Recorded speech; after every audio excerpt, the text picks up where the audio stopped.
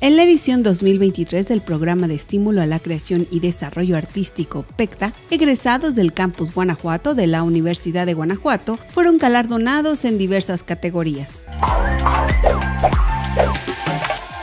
Esfuerzo de la colmena UG. Mayra Alejandra Ojeda Sánchez y María Montserrat Pantoja López, graduadas de artes visuales, destacaron por proyectos que reflexionan sobre la experiencia estudiantil en Guanajuato y la labor de las mujeres en la industria textil de Moroleón, respectivamente. María José Abreu, licenciada en Comercio Internacional, profundizó en el estudio de las momias de Guanajuato, mientras que Maximiliano Flores Romo, graduado de música, presentó un proyecto interactivo de guitarra clásica.